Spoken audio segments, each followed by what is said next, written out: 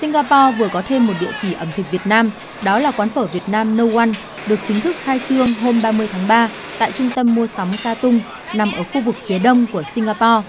Đây là quán ăn Việt thứ ba của chị Ý Thu, một người Việt đã định cư ở Singapore trên 20 năm nay và được coi là một trong những người đi tiên phong trong mở quán ăn Việt Nam tại Singapore.